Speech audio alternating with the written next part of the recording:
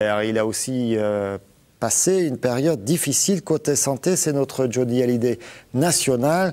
Enjoy a confirmé hier soir toutes les informations données d'ailleurs par le chanteur lui-même.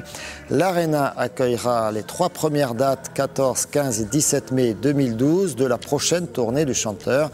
On le voit ici euh, sur la scène de l'Arena, c'était lors du concert de M, aux côtés de, de M qui a composé le nouvel album de Johnny Hallyday.